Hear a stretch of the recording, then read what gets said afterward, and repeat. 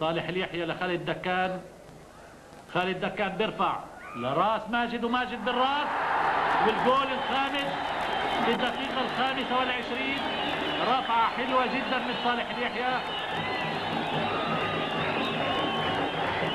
رفعة حلوة جدا.